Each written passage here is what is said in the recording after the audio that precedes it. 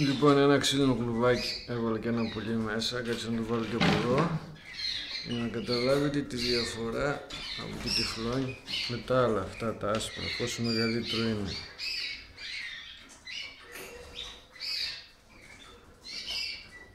Και με αυτό.